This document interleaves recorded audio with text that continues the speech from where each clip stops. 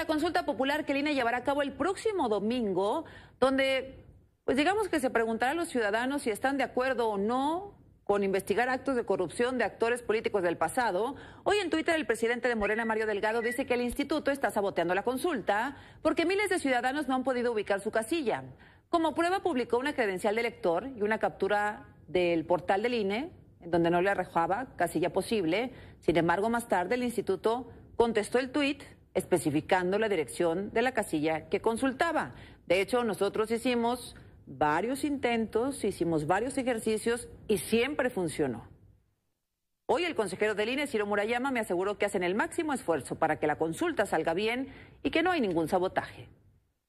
A mí me parece este, una cosa muy rara. A mí me sorprende esta declaración porque el INE está haciendo todo el esfuerzo organizativo y es falso que haya cualquier tipo de obstáculo desde el Instituto Nacional Electoral en favor de la consulta, más allá del tipo de pregunta que se hace, que esa la redactó la Corte y todo marcha sobre ruedas.